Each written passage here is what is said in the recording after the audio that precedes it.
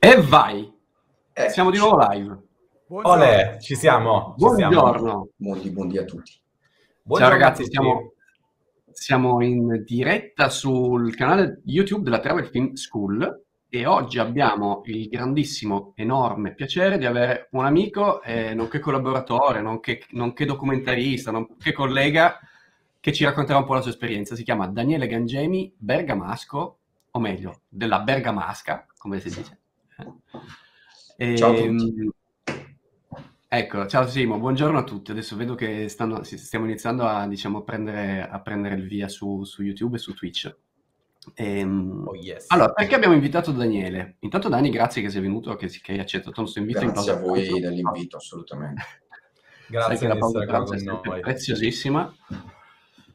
Ehm, Daniele l'abbiamo invitato ed è il primo vero ospite della, delle nostre live alla travel, della Travel Film School perché è, ehm, secondo me, e secondo noi in realtà un esempio, un esempio, da seguire, ma proprio di quelli che, che ti dimostrano come il nostro lavoro è fatto non solo di abilità tecniche, capacità, eccetera, ma anche di tantissima, tantissima, tantissima perseveranza. O sbaglio?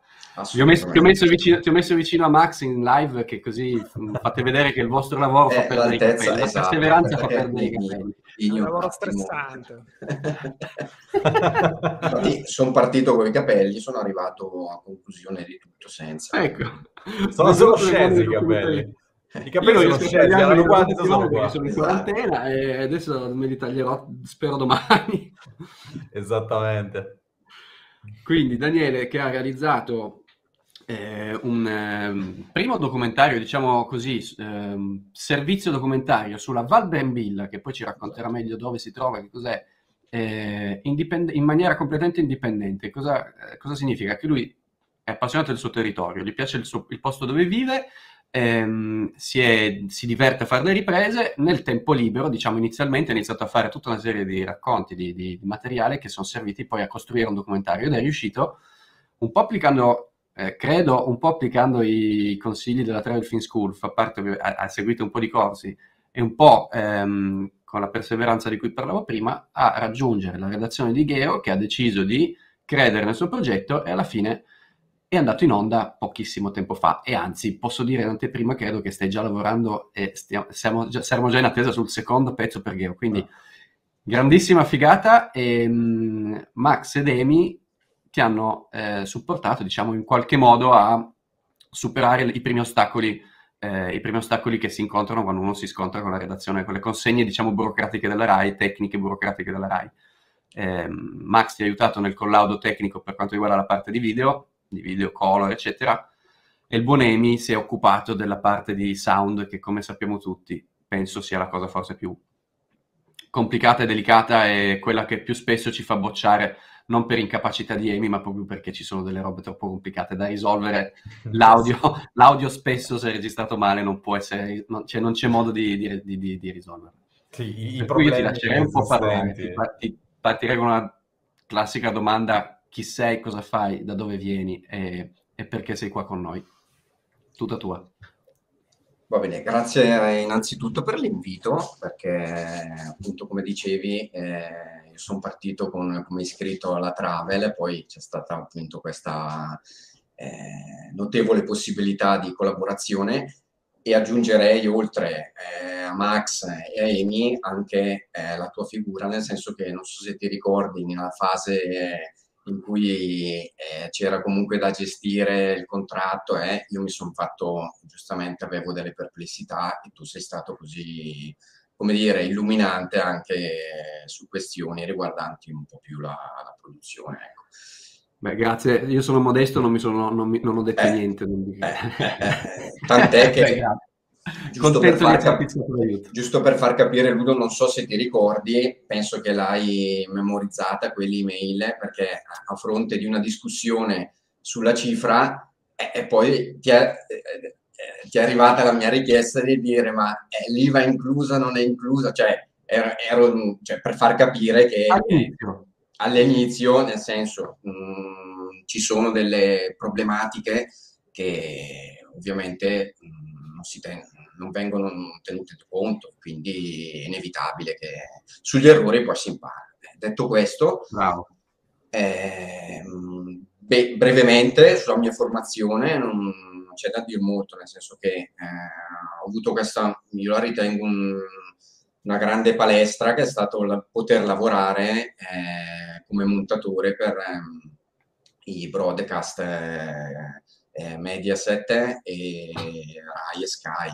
E quello per me è stato, come dire, un, un allenamento fondamentale perché mi ha permesso un po' di concepire il linguaggio televisivo che secondo me ehm, è fondamentale nella misura in cui ti permette di, di come dire, capire la grammatica di, di, questo linguaggio e poi riutilizzarla in, eh, in altri contesti. Eh, sì, volgar... è stato un po' il, il, discorso della prima live, quella della volta scorsa, no? che abbiamo parlato appunto della differenza tra la, la grammatica del montaggio, chiamiamola così, eh, da, tra YouTube e televisione invece, che completamente sono due cose totalmente diverse. Sì, mh, mm, cioè volgarmente, per fare un esempio, chi ci ascolta, mh, basta vedere la durata di una panoramica in un contesto di reportage televisivo e eh, paragonarla a un prodotto di YouTube. Cioè, c'è un divario enorme, cioè, un esempio proprio banale. E su questo, ovviamente, eh, poter raccontare una storia, siccome, eh, ripeto, ho avuto questa fortuna di, di, lavorare in tv in particolare, diciamo, mettere mano al montaggio dei, dei TG, eh, in, in, breve lì si andava a costruire una storia.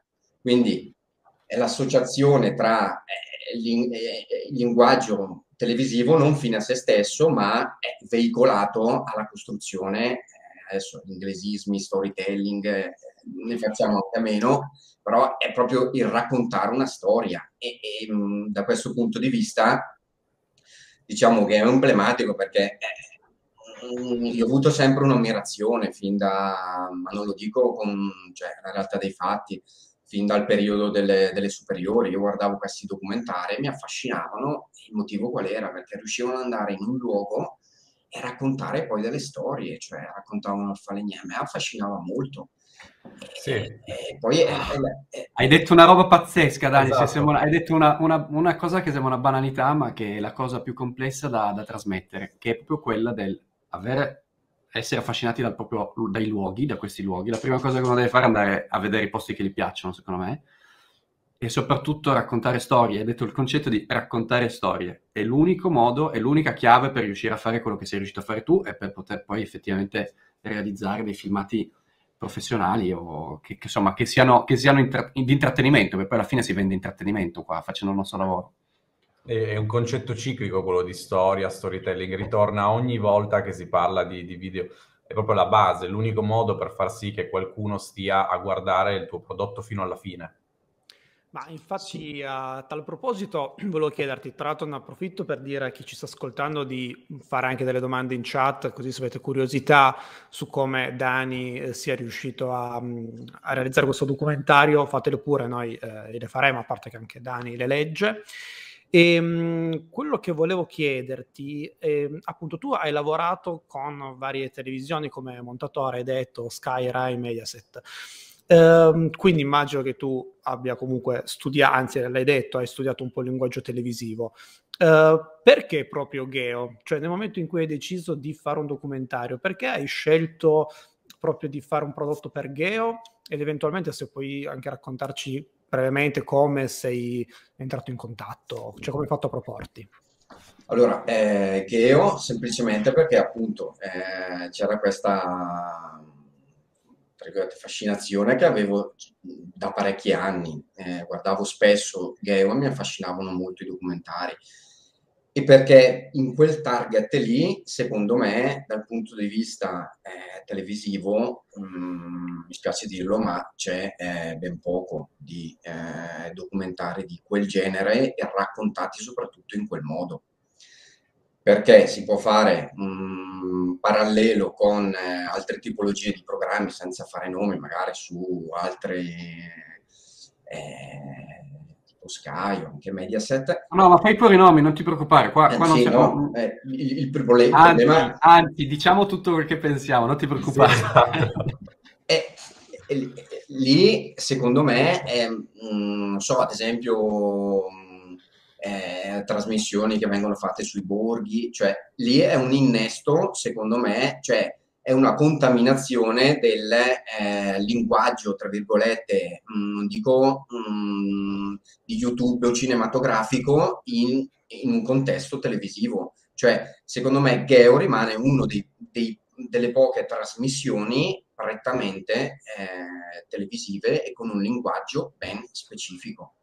Eh, cioè, che poi è la fortuna, è la fortuna per noi documentaristi, perché quando è, l'offerta è così ben delineata, eh, a noi non rimane altro, tra virgolette, che eh, concepirlo in quella maniera lì. Cioè, nel mio percorso, io ho avuto la possibilità di poterlo vendere eh, ad altre televisioni, ma in realtà eh, eh, mi chiedevano a volte delle modifiche, eh, a volte mi hanno detto, ma e qui l'immagine è sempre tutta a fuoco, nel senso, non, non ci sono delle, dei eh, cambi di scena evidenti. Eh, ma che cos'è che mi stavano contestando? Mi stavano proprio contestando, tra virgolette, quella tipologia di linguaggio eh, per la quale io eh, sentivo di aver creato il prodotto. Non, non so se, mh, mm, boh, magari sono stato un po'... No, no, eh, certo, è chiaro, nel senso tu comunque, eh, riassumendo, hai studiato un po' il mercato televisivo, hai visto che effettivamente Geo è uno de- dei pochi contenitori di documentari in Italia, hai studiato il suo linguaggio e eh, hai deciso di creare un documentario ad hoc che avesse quello specifico linguaggio che viene richiesto da Geo. Giusto un po' questo. Sì. Grazie per il Ecco, ma tra l'altro, Daniele, vorrei ritornare un attimo al discorso ehm, dello storytelling, comunque delle storie a cui ti sei appassionato. Tu eh, come le hai trovate queste storie? Hai avuto difficoltà? Hai dovuto cercare? Hai avuto qualcuno che ti, che ti ha dato una mano, che ti guidasse un po'? Ma eh, diciamo che appunto da bergamasco ehm, e appassionato di montagna mi capitava di andare spesso mh, eh, in giro per borghi, per eh, paesini di montagna e ehm, casualmente mi sono imbattuto in questo piccolo borgo, Catremerio, che è appunto in, in Val Brembilla.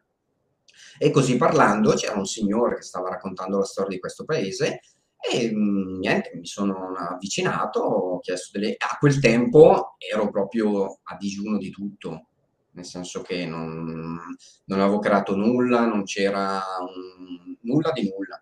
Semplicemente è, nato, è nata una sorta di, di, come si dice, amore a prima vista con eh, quella tipologia di luogo e dico, caspita, ma eh, vale la pena raccontare questo, questo luogo. C'erano stati poi emigranti, poi c'era una storia bellissima, la persona che mi stava raccontando il, la storia del paese, in realtà era il postino ok, che per 40 anni col mulo porta- ha portato la posta in quei luoghi.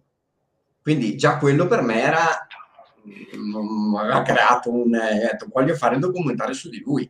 E, e, qui, e, qui, metto una parentesi, eh, quando non si, non si, fanno i conti con l'oste, nel senso che io ero partito con l'idea di, di farlo su di lui, sono, in, cioè, avevo iniziato tutta una serie di, di pre-produzione, poi sono arrivato davanti a lui e lui mi fa, io davanti, io ti racconto tutto quello che vuoi, eh, tutto quello che facevo, ma eh, io dentro, davanti alla camera non ci vado. Quindi eh, ho dovuto, cioè, Però è stata la tua guida, diciamo. parlare qualcuno che non vuole, nel senso... Esatto, sì, è stata, sì, indubbiamente è stata la mia guida, mi ha permesso poi di entrare, perché alla fine è fondamentale, cioè trovare, eh, cioè, se vuoi raccontare un luogo, devono essere le persone a guidare, a meno che tu non sia nato lì e quindi hai, come dire, una conoscenza dettata da, da eh, il tuo passato, eh, se no hai bisogno di persone che ti portino all'interno, se no rischi di fare, eh, come dire, passatemi il termine, è il documentario turistico, che sì. voglio dire, mh, mm, certo. vai alla chiesa principale, prendi la trattoria principale che magari ti rifila la trovata commerciale, no, eh, specchietto per la lodole venduto per chissà che cosa, in realtà no, bisogna entrare dentro in profondità e scoprire che magari 100 metri più in là c'è una trattoria che fa ancora la polenta con il mais eh, del mulino che è a sua volta a fianco, per dire. Certo. Eh, Quindi senti, um, come, come, è stato strutturato il processo di produzione? Cioè, tu hai fatto tutta una prima parte di pre-produzione, diciamo, in cui hai cercato le storie, individuato che cosa, che cosa raccontare.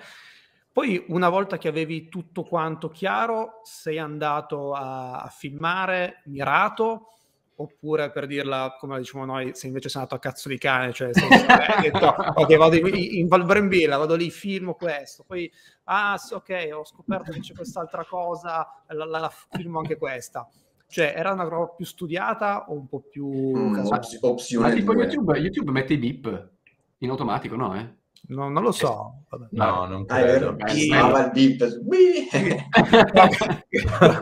questo, qua sarà, questo qua sarà l'ultima live che faremo. Cioè, ah, esatto.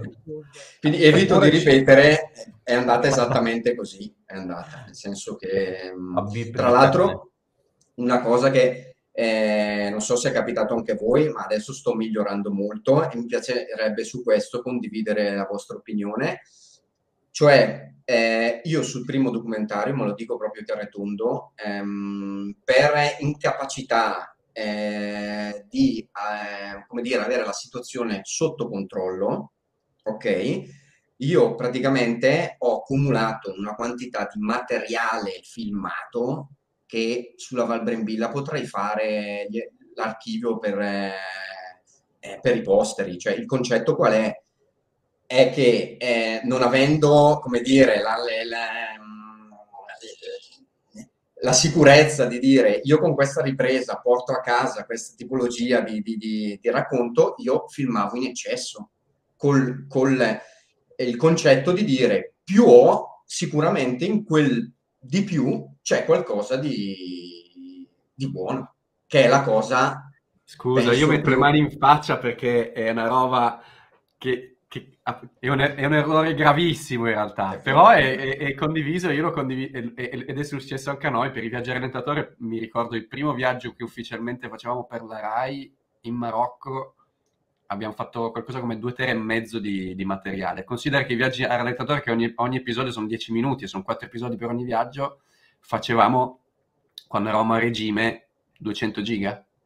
Cioè, quindi nel senso... Sa- poi uno poi è ovvio che si collauda, che deve testare, deve capire cosa, co- come muoversi, però è, è, un errore normale con la differenza che tu hai sicuramente creato del materiale d'archivio probabilmente molto utile per la comunità locale, a prescindere dal documentario di Geo col, col danno però per, per, il buon Max, nel senso che poi tutta quella roba che te la devi smazzare in, in montaggio, quando eh, ti ritrovi...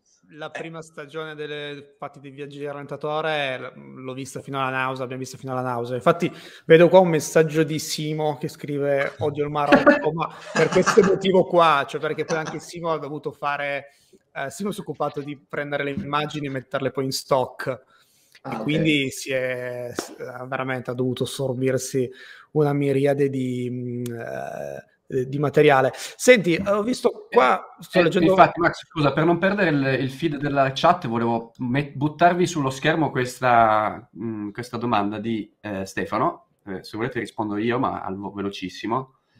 E questo è uno dei grandi ostacoli ed una delle grandi cose che spesso ci vengono anche chieste perché terrorizza tutti i videomaker. Cioè la musica, come tutti sappiamo, più la musica è bella, più il documentario viene bene, è ovvio. Cioè, se uno mette la musica di gente famosa, è ovvio che tutta la produzione assume, assume valore, no?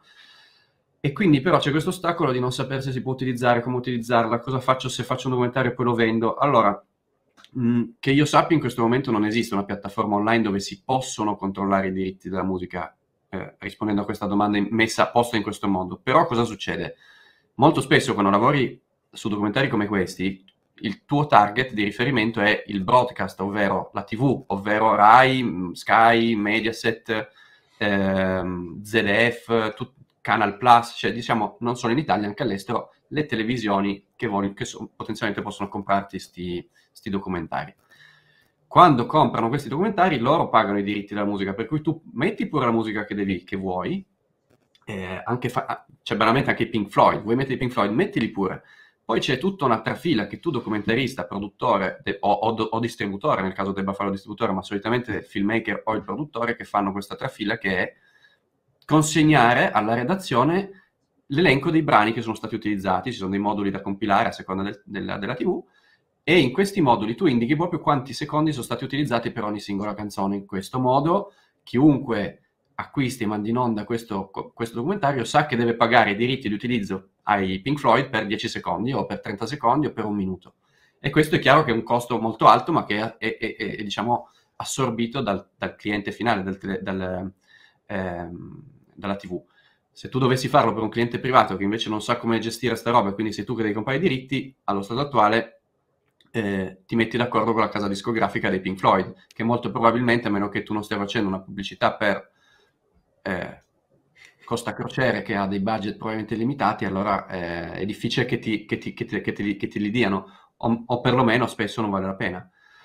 La gestione dei diritti, il 90% della gestione dei diritti è data dai, è, è, tenuta dalla CIA in questo momento dei diritti musicali, per cui poi tutto sto, tutto sto trafila viene poi tutta, gira tutto intorno al lab CIA che poi li smaltisce, li distribuisce equo compenso o non equo compenso, ma questo è tutta un'altra live, tutta un'altra chiacchierata. Era solo per rispondere alla tua domanda. Non esiste in questo momento che io sappia una piattaforma, se qualcuno ne conosce una, anzi, me la dica subito perché mi salverebbe la vita pure a me. Sarebbe molto molto comodo. Tra l'altro vedo che abbiamo ancora qualche domanda, ce n'è una per Ludovico eh, da Easy Film che ci chiede, cioè sta dicendo che sostanzialmente è verso la fine del suo lavoro per il suo primo documentario e chiede se eh, sarebbe meglio metterlo su YouTube come vetrina o andare dritto verso le televisioni o proporlo a qualcuno.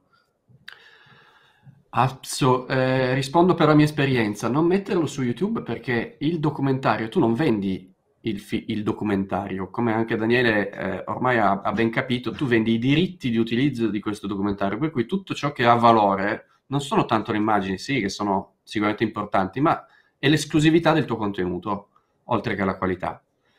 Eh, per cui se tu lo butti su YouTube è come se tu dicessi io cedo già i diritti free TV praticamente online a tutto il mondo e chiunque eh, voglia vedere il documentario lo può vedere. Quindi se arriva la RAI domani che ti vuole comprare il documentario in esclusiva, non può, ti vuole comprare i diritti di utilizzo del documentario in esclusiva, no, non, non può più farlo perché tu li hai già sprecati. E tieni, tieni presente che i diritti TV sono i diritti più preziosi, i diritti free TV, per cui vuol dire sprecare tutta, è, è, è quello il lavoro difficile, cioè tu come produttore e filmmaker devi dedicare gran parte del tuo tempo e delle tue forze a raggiungere le redazioni che sono interessate a guardare il tuo prodotto e a comprarlo. Se non sei capace tu o non riesci tu, devi affidarti a un agente o a una casa di distribuzione che te lo possa fare, facendo attenzione a, becca- a prendere la persona, l'agente giusto. Eh, però è questo il trucco, se tu lo metti su YouTube lo sprechi. Su YouTube puoi mettere un trailer che ti può aiutare a far conoscere il tuo, il tuo documentario. Giusto. Tra l'altro abbiamo ancora un'altra domanda invece di Andrea Buonpane, magari più rivolta a Daniele. Eh, chiede qual è il budget indicativo per la produzione di un documentario tipo quello sulla Val Brembilla o, o, simili, cioè più o meno quanto ti è costato andare a produrre un documentario del genere? Allora, eh, la cifra la dico non è un problema, però mi se, piace se, fare se una... Sì, no, assolutamente. Piace... Mm, è doveroso però fare una piccola introduzione, nel senso che allora, è un budget eccessivamente basso, ok, che farebbe inorridire il Moretti de, di ventenne. Il problema qual è? È che eh, gestendo io le, eh, la fase delle, della scrittura dei testi, delle riprese, del, mon, del montaggio audio, eh, capite bene che eh, tolto il costo di noleggio della camera, costo le spese di, di eventuale vitto alloggio, ma facendoli vicino non ha anche quelle spese lì, diciamo che sui, entro i 1500 la produzione è già bella che coperta. Attenzione, ti interrompo su una cosa. Ti, inter- ti, interrompo su una cosa che secondo me è molto, da, è molto importante da chiarire. In questo momento, questo è stato l'approccio di Daniele che gli è servito anche per, per, aprire la porta a Geo, per farsi, cioè, nel senso ci ha creduto, doveva farlo, ma tenete presente che quando fate un calcolo di un budget dovete calcolare anche il vostro tempo, cioè voi non potete pensare di calcolare un budget senza calcolare il costo del vostro tempo, siete voi liberi di, di decidere che il vostro tempo vale 5 euro l'ora, 10 euro l'ora, 50 euro l'ora o, o, o a forfait, però se, se, la produzione costa 1500 e tutto il tuo tempo è a fondo perduto, è una tua scelta soggettiva se vuoi farlo come imprenditore devi pensare che se quello lì è un mese di lavoro devi dire, non so, voglio 2.000 euro o voglio 50.000 euro, a seconda di quello calcoli, calcoli le tue spese, chiaramente. E il noleggio e l'attrezzatura, quelle robe lì ormai incidono relativamente poco se uno fa il filmmaker come noi, cioè con un'attrezzatura eh, relativamente semplice, chiamiamo così.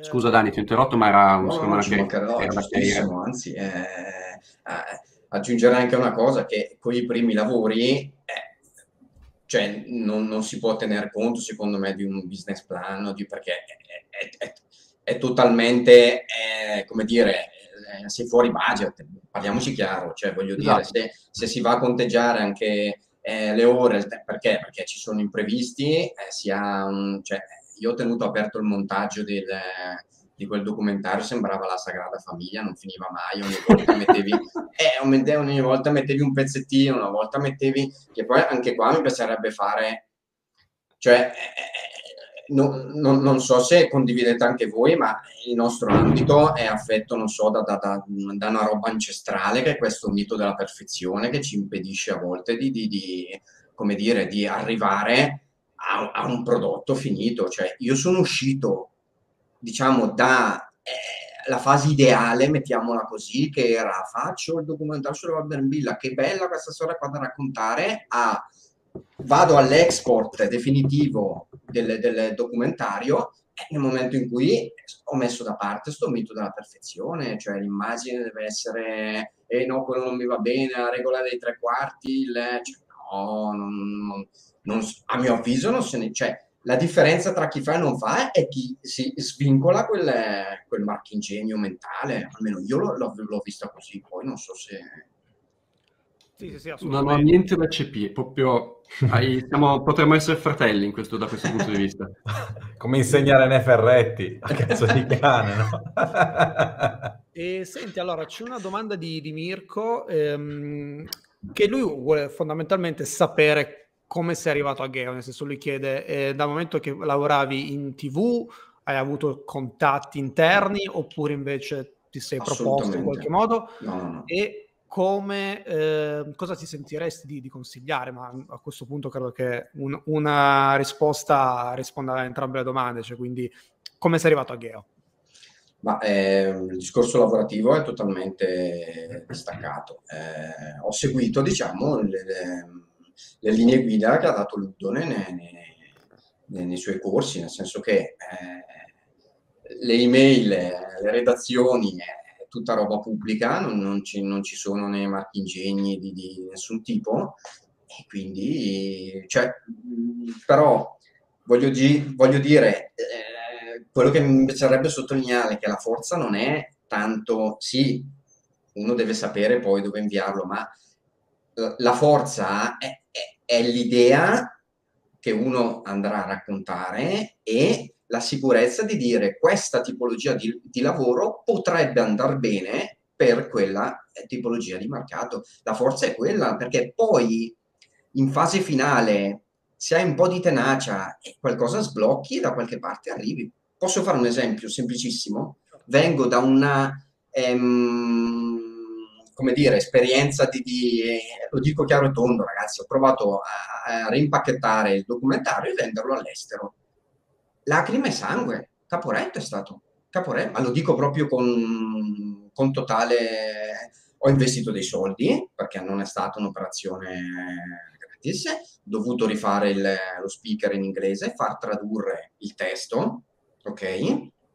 E terzo, mettere i sottotitoli motivo del, del, fallimento è stato che la tipologia di durata non, all'estero non, cioè quei 30 minuti lì non sono né carne né pesce. Quindi dov'è l'errore? O fai, l'errore... Una serie, o, o fai una serie, allora esatto. sono da pesce 30 minuti, ma devi averne almeno 6. Esatto, è quello che è. Ma il problema dov'è? È stato mio l'errore, cioè non posso adesso imputare, eh, imputare chi, cioè voglio dire, eh, l'errore è stato mio da produttore, tra virgolette, di, di, di non considerare le richieste del mercato, però gli errori si fanno. Cioè, sì, esatto, certo, però tieni presente prima. che è anche vero che uno queste cose le impara proprio sbattendo la faccia contro il muro, come è successo a te, come è successo a tutti noi, e quindi in realtà tu sai che adesso è un contenuto da 30 minuti sulla Val Brembilla, hai un altro documentario da 30 minuti su qualche altra valle. Magari tra tre anni hai sei documentari di altre tre valli, potresti, potresti avere la serie molto classica, documentaristica molto classica sulle valli del Bergamasco e magari non avrà uno strato, no, cioè, difficilmente approderà su Netflix, però magari su qualche televisione locale o minore all'estero potrebbe benissimo essere piazzata. Ci sono delle case di distribuzione specializzate solo in vendita di contenuti per, diciamo, un po' più semplici, più locali, come questo, per esempio. Sì, comunque hai, hai, sottolineato una cosa veramente molto molto importante, eh, cioè che bisogna eh, studiare proprio il, il, prodotto, cioè ok che la mail è pubblica e tu eh, appunto hai, hai scritto a quella mail lì, però hai scritto mandando un prodotto che sapevi che avrebbe funzionato per quel contenitore. Perché forse l'errore più comune è dire ok, io faccio un video, lo mando a Geo che magari gli piace. No, cioè se non è nel loro interesse, se non rientra nei loro criteri, è chiaro che probabilmente non ti rispondono neanche, cioè sono interessati solo se il prodotto rispecchia appunto il contenitore. Che, che esatto. poi abbiamo una grande fortuna di questi tempi, cioè la possibilità di andare tra virgolette, a destrutturare un, un, prodotto che può essere un documentario, tutto lo prendi in timeline e inizi e ragioni e dici cosa c'è, sono in grado di fare questa panoramica, però anche qui l'atteggiamento, io purtroppo devo dirle, cioè, um, molte volte eh, si tende a dire, eh, ma quello eh, lo faccio anch'io. Eh, ma tra il dire lo faccio anch'io e di farlo effettivamente e ci passa un mondo perché eh, lo sapete meglio di me eh, ritrovarsi di fronte a un paesaggio e dire eh, adesso che ripresa fai? Eh, tu l'avevi vista in timeline bellissima una bella panoramica. Innanzitutto eh, devi eh, definire per dire la semplicità un minimo di direzione delle, della fotografia la luce e via dicendo. Poi devi fare il, mo- il movimento in maniera fluida e quindi entra la tecnica e poi eh, dire sì, eh, può andare bene, può essere esaustivo per dire, cioè eh, molte volte si tende a, io, io vedo questo, um, questo atteggiamento di, cioè in realtà no, cioè il, il, nostro comparto creativo deve essere, cioè bisogna cimentarsi sul campo. Beh guarda Dani, quello quello è il più grande lavoro del- di, di- di chi fa produzione di questo genere di cose qua. Cioè, quando ti dicono, ah, vabbè, ma è solo- hai fatto una bella ripresa, sì, però tu devi dovevi essere lì a farla quella ripresa. Cioè, dovevi esserci, cioè, volevi fare il timelapse al tramonto in cima a una montagna, eh, beh, ma devi andarci, non è che, non è che arriva perché qualcuno la fa, eh. E quindi assolutamente questo è, eh, ti dico, è la selezione naturale tra filmmaker documentaristici, nel senso questo è solitamente uno di quei punti in cui veramente chi ce la fa fa come te, che si alza la mattina all'alba e va, e va in cima alla montagna a farsi il time lapse. Chi non ce la fa è, è, colui che spesso si arrende alla seconda volta, perché comunque quella roba lì è lavoro, impegno, tempo, capacità, pazienza. Arrivi su e piove, è chiaro che hai buttato nel, del, del, tempo. Eh, eh, anzi, devo dire che tu in Val Brembilla nel tuo documentario spesso ci sono delle immagini, anche se vogliamo grigie, eccetera, ma perché probabilmente è, capi- è capitato che capiti il brutto tempo. In quel caso lì se non vuoi buttare la giornata devi essere molto bravo a reinventarti e soprattutto con la storia e i racconti. Quindi quello devo dire sei stato molto bravo e devo, mi piacerebbe passare un pochino la, la parola a Amy solo perché ehm, lui può una, può darci queste informazioni sull'audio, cioè un altro problema che noi riscontriamo spesso quando, quando, ci, quando insomma, ci parliamo con gli altri filmmaker è che l'audio viene sempre messo un pochino in, diciamo in, secondo piano, ma non per... Ma ormai tutti sanno che l'audio è importante, però spesso viene gestito male. E, ehm, mh, può andare bene per una live di YouTube, può andare bene per YouTube, può andare bene per qualsiasi cosa, ma non, spesso crea dei problemi. Se non ricordo male, il documentario della Val Brembilla comunque qualche problemino di presa diretta ce l'ha avuto e, e questa è una roba su cui investire, chiunque deve investire, perché i problemini di presa diretta di audio sono dei problemoni in fase di collaudo, trasmiss- trasmittibilità del contenuto in televisione, pagamenti, perché poi ti bloccano il collaudo, ti, bloccano i, ti bocciano il collaudo, ti bloccano i pagamenti.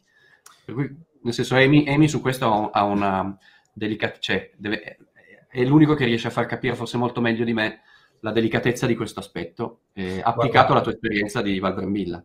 Volevo giusto fargli la domanda, visto che ha parlato di tecniche di ripresa, di, di come fare l'immagine, di come comporla, di come fare i movimenti, volevo giusto chiedergli, hai usato qualche accortezza tu Daniele per riprendere l'audio durante eh, appunto queste riprese qua? Io mi ricordo eh, sulla Val Brembilla di audio in presa diretta ce n'è tanto, eh, c'è anche materiale messo dopo in post-produzione, su cui tra l'altro abbiamo avuto dei problemi assurdi, cioè tipo eh, audio tranquillamente in stereo che ci hanno, ci hanno, invece poi detto che era in mono, questa cosa Daniele non l'ho mai capita, ma va bene, noi eh, facciamo così, facciamo finta di niente, però eh, tu hai usato qualche accortezza in fase di ripresa o semplicemente avevi un microfono sulla camera Esatto, sì. Eh, trattandosi poi di camere, perché quelle sapevo utilizzare ai tempi, le cam, camcorder eh, broadcast, quello per eh, i TG, semplicemente un mezzo fucile, penso si chiami, che sì, va sì, collegato sì. XLR con eh, eh, con la camera. Perfetto. Molto Era un direzionale comunque. Direzionale, esatto, quindi cioè, se stavi riprendendo l'uccellino ti prendeva accanto senza problemi. Sì, assolutamente. Forse l'unica accortezza che bisogna avere in, questa, in queste situazioni eh, sono un po' i rumori, i rumori ambientali che possono esserci, tipo magari il vento, se quando è forte che ti soffia direttamente sul microfono devi sapere che quella roba lì non la toglierai in post-produzione, eh, rimarrà lì. Ti aspetterà, non te l'ho ancora detto, ti aspetterà per i prossimi, ho ripreso, no ragazzi, qui, no, ma lo racconto perché alla fine ci sta, cioè sugli errori si impara. Sì. Eh, episodio di transumanza, cioè proprio con le vacche in alpeggio, eh, giornata ventosissima, ma una roba mh, mm, mai vista. Ovviamente io non porto il, l'antivento. Macello, sono riascoltato, quindi poi quello non so come riuscirai a... Già. racconterai e mi dirai se ci sarà possibilità di... Però per dire gli errori sono...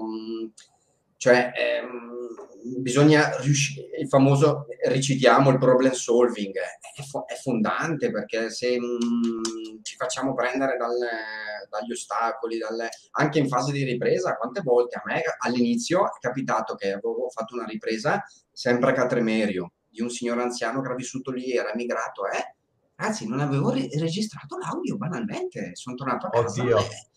Eh, eh, questo, questo è un errore che capita eh, quando non ascolti con le cuffie. Tu avevi le cuffie, per esempio, in quella situazione? Ma sì, ma la mia, sai qual è stata la mia fregatura? Che ero concentrato sull'impostazione ah. della... Volevo, certo. volevo eh, lì la perfezione, volevo questa immagine proprio bella, eh? E non ho controllato l'audio. Proprio. E ti sei perso, ti sei perso l'audio. Capito? Capita, volevo, capita. Eh, no, lo sposto qua, lui piuttosto che... Eh, cosa ho fatto? Sottovalutato... Beh, guarda, io sai come eh, a me è successo anche tante volte e alla fine l'ho risolto spendendo un po' di soldi, l'ho risolto comprandomi uno di quei rod che si accendono automaticamente con la camera, cioè quando accendi la camera e stai riprendendo lui è già acceso, si chiama mm, Rod Video Mic Pro Plus, mi sembra, col più, da, col più, comunque ci saranno modelli nuovi più recenti rispetto al mio. Quella è stata la salvezza perché quando accendi la camera ti dimentichi il microfono, no? E, e in più se, se, il microfono è scarico inizia a lampeggiare. Questo è un piccolo accorgimento utile, è chiaro che funziona nel direzionale che metti sulla camera, non funziona sulle altre cose che devi guardare trasmettitore, ricevitore, bla bla bla, però sul sì. direzionale funziona bene.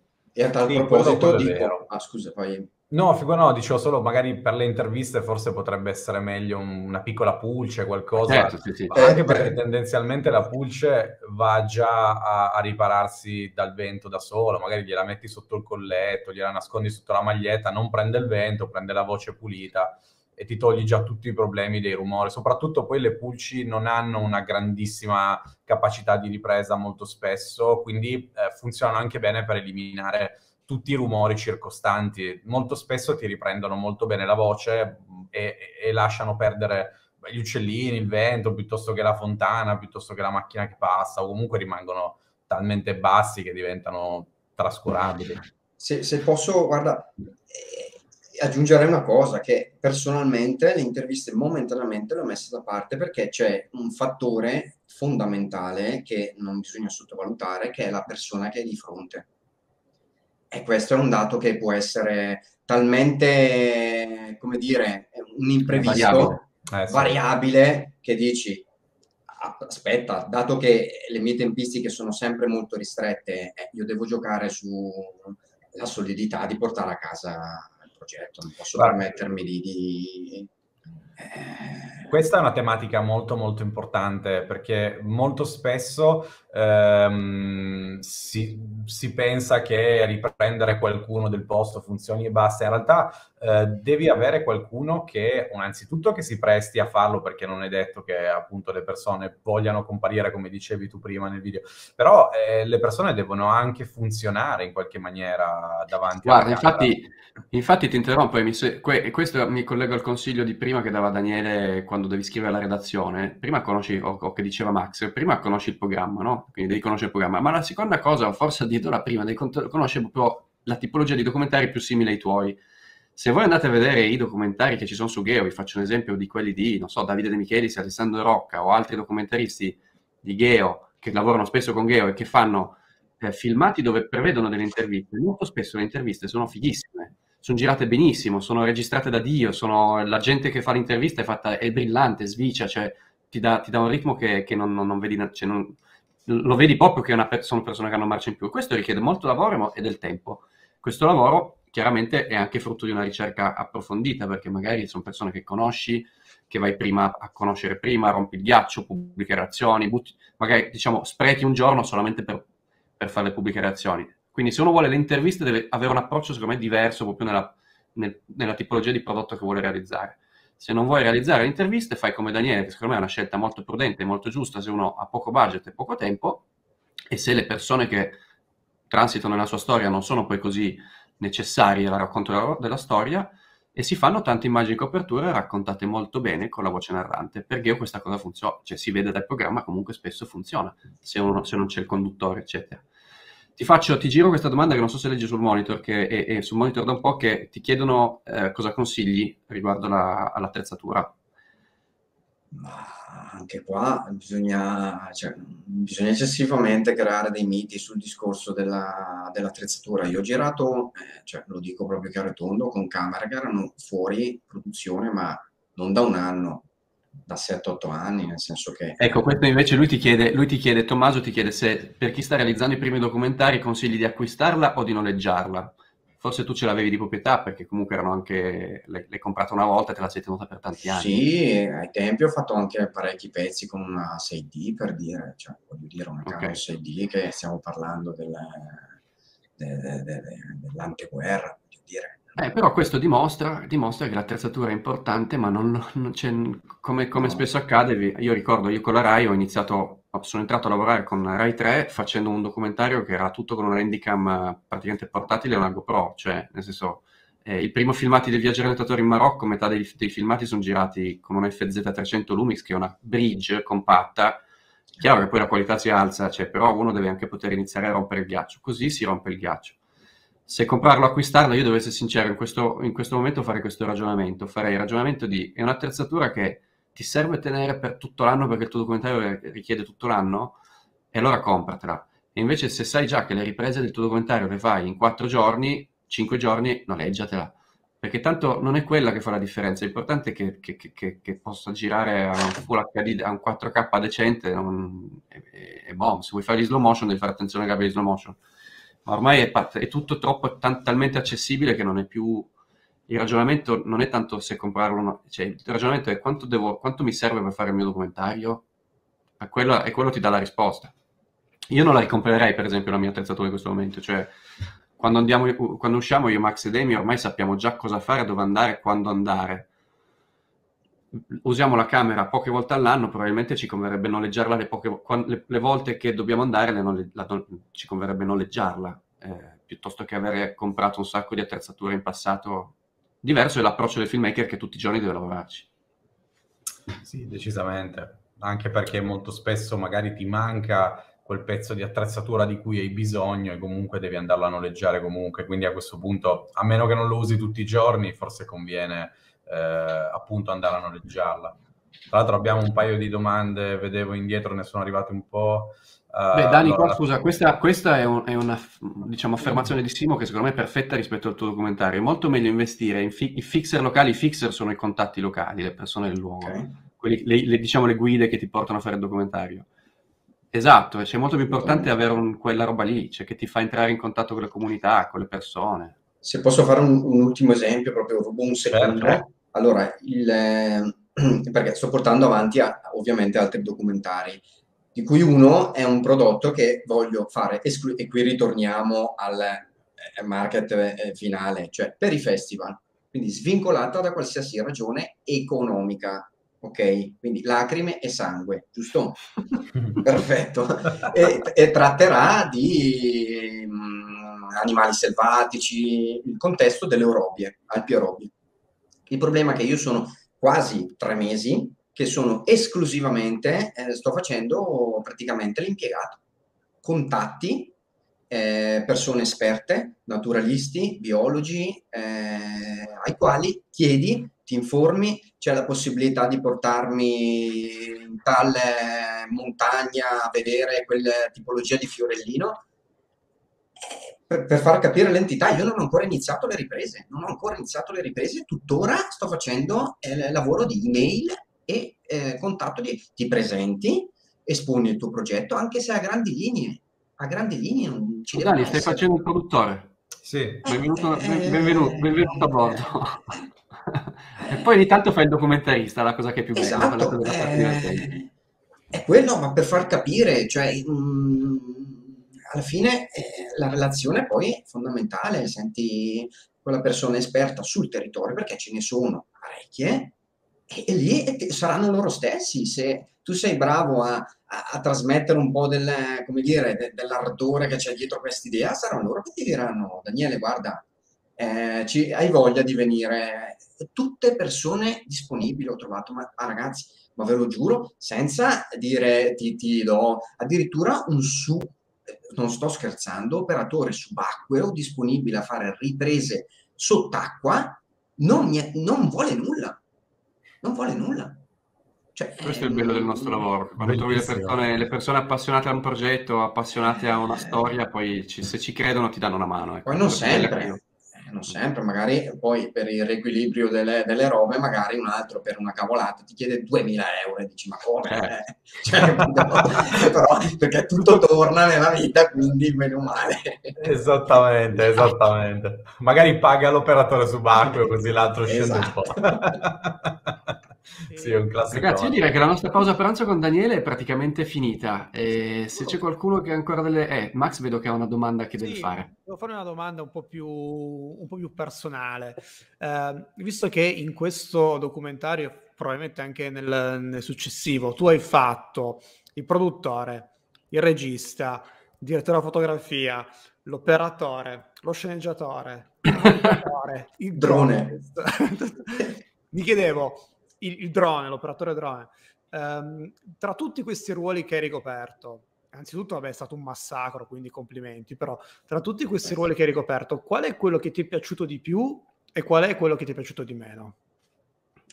Allora, piaciuto di più non è proprio un ruolo, ma è, banalmente non, non prendetela, cioè è proprio quell'interazione con le persone lì sul luogo. Eh, cioè, io quando sono lì e mi raccontano magari la loro vita, la, è, è, quell'aspetto mh, più bello che c'è nel, in, in, quello che ho fatto. E quello che ti, dispiace quasi, ti dispiace quasi dover fare le riprese. Esatto, esatto, perché devi interrompere, devi creare un riconcentrarti su altro. Poi le persone quando eh, ti raccontano magari altri mondi, altri che tu dici, caspita, sarebbe questa ulteriore atmosfera di documentario. Quello che mi è piaciuto di meno il dronista, perché um, è un po' ovviamente eh, crea agitazione, perché stai volando, stai... Cioè, vorrei delegare molto volentieri, però... Eh, è quella, diciamo, la parte meno un po' più burrascosa. È normale che sia, è normale che sia così, cioè, però probabilmente arriverai a un punto in cui è, sarà necessario, dipende proprio dai ritmi, dai ritmi, che uno vuole dare alla propria produzione, però quindi è una scelta totalmente soggettiva. Io, per esempio, come documentarista sono intanto delegato, delego sempre il mio montaggio quando riesco a, a Max perché non sono in grado di montare bene come lui. Eh, e soprattutto nella metà del tempo lui mi fa il montaggio che io farei in, male e molto più a lungo. Non lasciamo perdere la parte di audio che è, cioè, ho, ho, ho, scoperto l'audio grazie a Emiliano, eh, però è chiaro che mettere insieme queste cose ha un costo, ha un, ha, un, ha un, impegno, perché poi non è che vuol dire che li lasci tutto e fanno tutto, cioè comunque è una roba che va eh, crei, crei un team, per cui con la squadra, la squadra richiede lavoro come tutte le cose. È chiaro che dipende proprio dai ritmi di produzione che, che uno decide di applicare. E, e è soggettivissima come cosa. Anche qua ci sarebbe il tema team o non team, perché anche eh, qualche volta mi, mi scontro con... Quello è un tema molto grande. Eh, sarebbe argomento per eh, una live. Dovremmo parlare per altre sette ore. Esatto. Vabbè, ne abbiamo parlato in realtà forse la, la volta scorsa no, di questa cosa. Possiamo dire che dipende, a grandi linee, il discorso è che dipende dalla mole di lavoro. Se, se devi fare un documentario eh, lo puoi gestire da solo, se devi farne 20 in tre mesi, allora c'è bisogno di un team perché rimane proprio impossibile. Lì dipende probabilmente più dalla mole. Poi mi correggerete voi che ne sapete sicuramente di più. Ma... E poi a- attenzione che oltre alla mole, cioè, chiaramente dipende dal tuo documentario. È ah, ovvio sì, che se devi fare un documentario per Rai Cinema non puoi farlo da solo, eh, cioè, nel no, senso devi avere una squadra, una squadra, una casa di produzione, ognuno che proprio... Cioè, ci vuole il, il, il, l'editor ci vuole il sound designer, cioè, nel senso... Eh, ci vuole il microfonista di presa diretta, ci, cioè tutta un'altra roba. È proprio una, dipende dal tuo target, per cui il tuo esempio è perfetto perché ti racconta, vuoi fare il filmmaker che racconta il territorio, che racconta dei bei posti, vuoi fare dei documentari che vanno bene per Geo, per redazioni come, di culturali come quelle di Rai 3, comunque programmi televisivi e non cinematografici, il tuo approccio secondo me è stato vincente e ha funzionato, infatti sei, sei, stai sbarcando col secondo documentario, di cui ti auguro una, gran buona fortuna e Grazie. facci sapere quando vai in onda, per favore. Assolutamente, sì, sì, sì. Assolutamente. E, che, che sarà eh, di nuovo comunque merito della Travel da questo punto di vista. non esagerare. No, no beh, nel senso, la parte, la parte, no, bisogna essere onesti, la parte finale, soprattutto nel primo, eh, anzi, eh, colgo l'occasione per ringraziarvi ulteriormente e vorrei eh, dire una roba, cioè trovare professionisti eh, in questo ambito così di nicchia in, rela- in relazione a- all'età giovane che avete è notevole, è notevole, non è da tutti.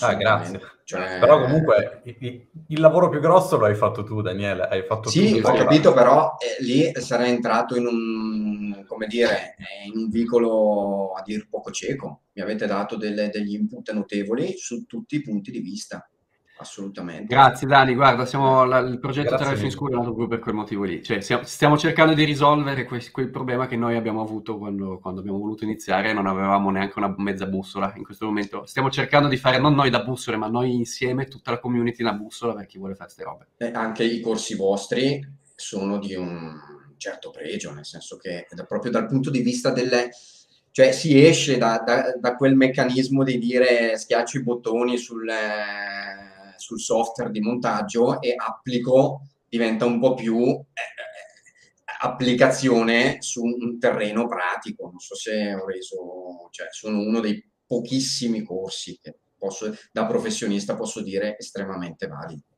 Sì, credo Grande. che quello sia, ma è una credenza che abbiamo in realtà tutti, cioè è, è, l'unica via per insegnare qualcosa a qualcuno, cioè spiegargli proprio come si fa nel pratico, anche magari anticipargli già gli errori che potrebbe fare, visto che tanto li abbiamo già anche fatti noi comunque.